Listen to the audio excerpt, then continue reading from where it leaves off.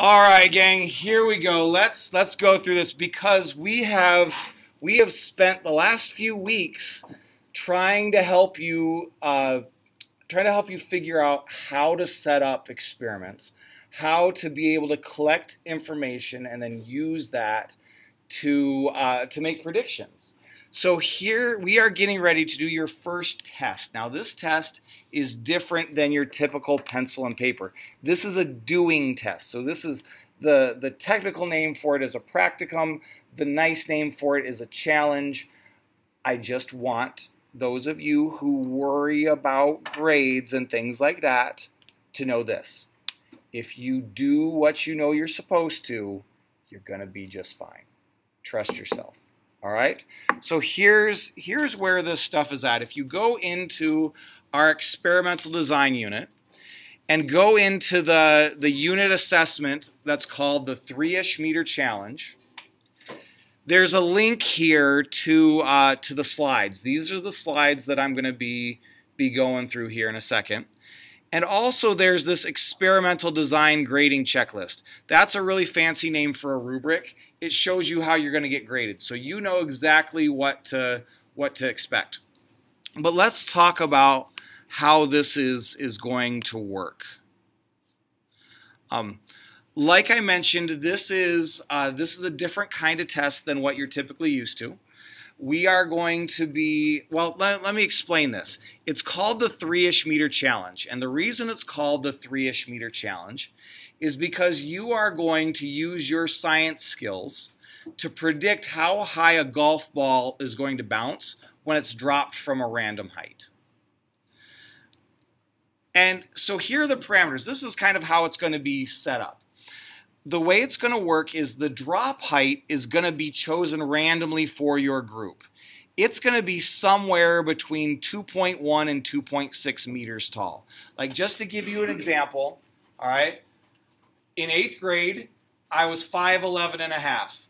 I knew that I had an excellent chance of, of being going to the NBA as a, as a power forward because I was going to keep growing. However, genetics got in the way, and I am still 5'11 and a half. Probably 5'11 because I have really bad posture. But, all right, two, I am, I am just, I am a little bit short of, of two meters tall. So 2.1 to 2.6 is like up there. So that's where you're going to drop the ball from. Here's the thing you can only test between ground level and 1.5 meters off the ground.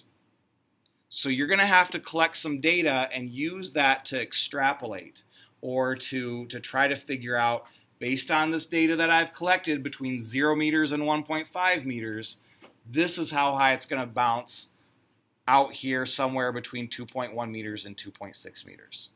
All right? Your grade is going to be based on the difference between the bounce height that you predict and the bounce height that actually happens. The closer your actual height is to the predicted height, the better your grade. And you get one shot. All right? So, this is so let me show you a little a little video here if I can find it. This is I did this uh, over the summer with um, with a group over at Consumers, so here's the here's the video. It's a whole nine seconds. Yep. So you see where they drop it from. They see the predicted. So this is let's stop it right here. This is where they predicted that it was going to bounce to, but this is where it actually bounced to. The difference is how much I take off their grade. Wait, will you play it again? Yeah. Was I measuring? Oh, what did I do? Did I measure by the top or by the bottom? Yes. Hint, hint, nudge, nudge, wink, wink. I would suggest measuring from the bottom. But anyways, here we go. So here it is again. Yep.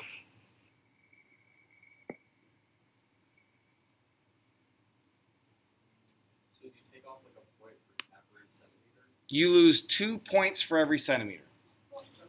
How Uh, many points is? What's that? How many points is this? It's 100 points. Oh, so, oh, you have to like really, You can- really fail. Is it a It is a group thing. All right. There's a lot of, I don't know if people are relieved right now or if they're really worried, but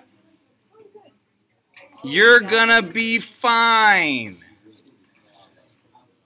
All right. So here's, well, let me, let me explain this.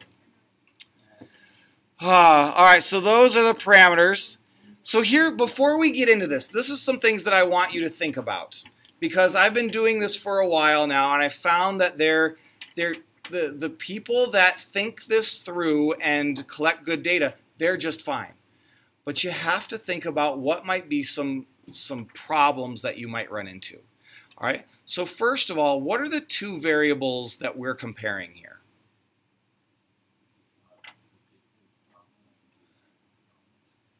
Okay, so you do have actual versus predicted, but what is going to be, what's going to influence the drop height? Drop height. Or sorry, the, the bounce height. Oh. You've got, ah, now you're really confused. Yeah, it's the drop height and the, and the bounce height. Think of how you're going to collect your data. All right, what are going to be the things that you do to make sure you are, are collecting good quality data? I mean, we've talked about this. We've talked about how to organize um, or how to set up our our procedures. We've talked about knowing what the ind, the the uh, the IV. What's the IV? The independent. Wow, my brain is the independent variable. We've talked about chopping that up into equal segments. We've talked about how the more segments you can test, the more reliable your data is going to be. We've talked about doing multiple uh, multiple trials in order to get an average, and then all that that fun stuff. So think about how you're going to set this up so that you can make as good a prediction as possible. Think about what might be some of your sources of error. We've already talked about where we're measuring from. All right, we're measuring from the bottom of the ball. All right, where? How are you going to remember which ball is yours? For example, um, this right here. All right, this is this is a an egg carton that I got from my grandpa Spencer's house. Grandpa Spencer died a few years ago, and when uh, we were cleaning out his house, we we noticed that Grandpa had all of these egg cartons stacked floor to ceiling along the wall in his in his workshop, and they were full of golf balls. All right, Grandpa loved to golf. He tried to teach me. I was a disappointment to him. All right, I am really bad at golfing. Ask Mr. Conrad, and he will he will be laughing so hard he won't be able to, to tell you. Anyways, the reason I tell you this is because we're taking from some of Grandpa's Grandpa's golf balls. So I have a Titleist here. I have a Top-Flite. I have a Pinnacle. I have a um, a Dunlap or a Dunlop. I have a, a Wilson Smart Core. Not all golf balls are the same. All right, so you're going to need to make sure that you know which one is yours. One of the things that I've tried to do, and I hope it, it works okay, is I've gone and written the numbers on it. So you can go by by table. So that is table number one, table number two, three, four, five, six, seven, and hopefully you'll be able to remember which is yours. Because it'd be bad if you started today with one golf ball and tomorrow you used a different one and it messed things up. And here's the last thing. Those of you who are very who get nervous about your grades, I don't want you to be nervous. All right? What I what the nice thing about this is is you should know what your grade is going to be before you actually do this. And here's why. You get one shot at doing this for the grade, but you can test this all you want. You can it, it, once you have your method for being able to take your drop height and predicting the bounce height, you can do your own uh, your own random drop height, and you can test it and you can see how close it comes. Right. If you if you test it and you refine that, you're going to be just fine. The people I worry about are the people who have have decided, oh, I'm going to do this and I, I think it's it'll be okay, but they never test it. All right? Don't be that person. Make sure you test it. Here's how you're going to grade. It's going to be a, total, there's two parts. There's going to be a total of 100 points. The first part is the data collection, and that is worth 60 points. And you're going to need to have a title and a sketch of the of, of the setup. You're going to need to be able to identify the independent and dependent variables. You're going to need to organize your data table. You're going to need a graph. You're going to need a line of best fit in the equation. You're going to need to explain how you made your prediction. You're going to need to do all of those things. In fact, if you go into Schoology and open up this experimental design grading checklist, what it does is it takes you to,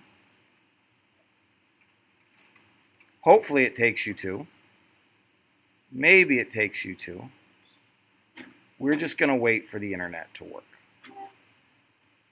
What it does is it shows you how everything is graded. It shows you all the little pieces that that I am looking for here. Hopefully, not sure why this is taking so long. Loading document, initializing. Here we go. I hope. Okay, there we go. So for example, organization report is organized and easy to follow. Scientific question. Question tests the comparison between two variables and is clearly stated.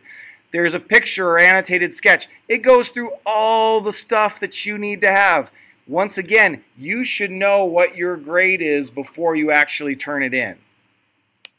So that's the first part. That's the, the part that um, is going to be on, or that you're going to do before you even test the, the bounce height. The second part is the ball drop prediction. This is worth 40 points. This is where you take all that information that you collected, you get a randomly assigned drop height, you use that data to make a prediction, preferably using Desmos, hint, hint, nudge, nudge, wink, wink, and then you drop that puppy for a grade. You get one attempt.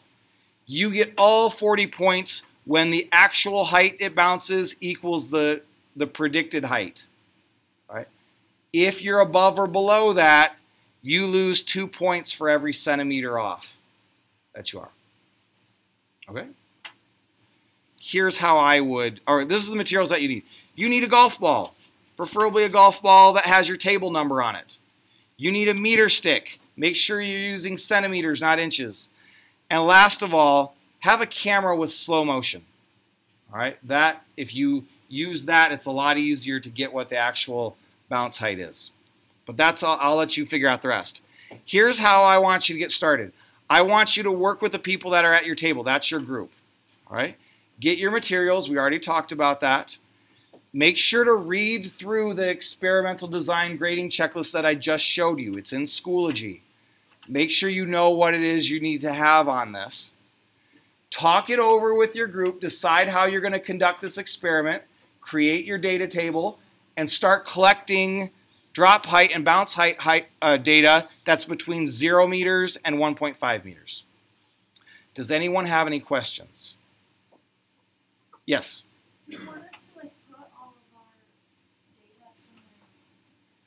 So eventually you're going to need to put it on a whiteboard. I would say because the whiteboards tend to disappear, I'd put it on a piece of paper or in somewhere in your iPad um, before you make your whiteboard. Right. Excellent question. Any other questions? All right, we have a little bit of time left in class. Get going.